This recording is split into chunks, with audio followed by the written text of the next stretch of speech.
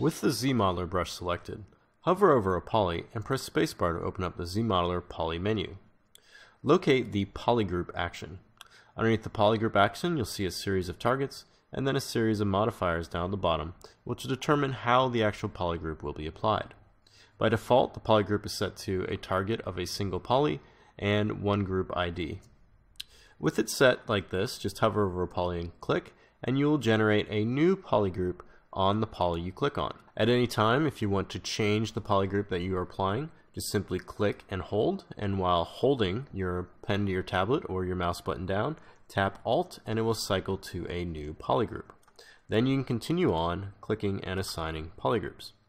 If you come across a time when you want to actually keep this polygroup here and apply it elsewhere, simply come over a polygroup you want to copy, click, and while clicking and holding the mouse or pen down, hold shift and you will now copy that polygroup. Now with this polygroup copied, now simply click on any other polygroups and that polygroup will be applied. To do that function one more time, just hover over a polygroup you want to copy, click and then hold shift and that will now store that polygroup in the ZModeler brush and now when you click again it will apply that polygroup. Now if I hit spacebar to open up the ZModeler poly menu again, down here you have quite a few more options or modifiers for the actual polygroup action. These ones down here will automatically generate polygrouping based on the surface of your model.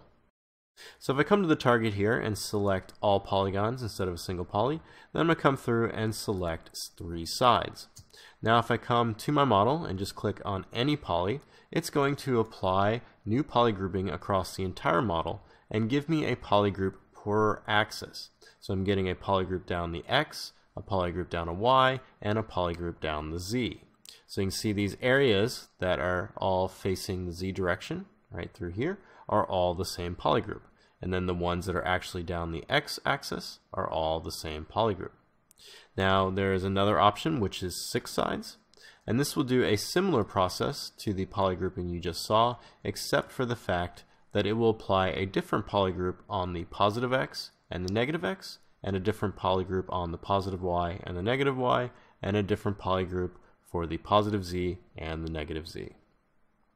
If you go back into Spacebar, you have a few other options in here, and these will just vary your polygrouping based on different procedures. So you have topological, polyorder, point order, relative plus 1, relative minus 1, and checker.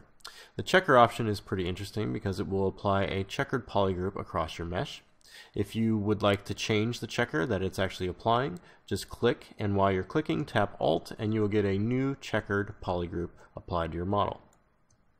Finally, you have modifiers down here, which is the additive and the pick existing. These are the same processes we kind of just explained, but the actual buttons for them. So if you'd like to pick an existing polygroup rather than holding shift, you can come down here and select it like so.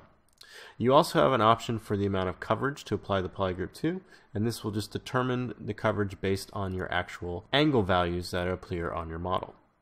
So you just come through and apply different polygroups to your models as needed, and then using these different targets of polygroup options here, you can use these polygroups to further deform your model as you work.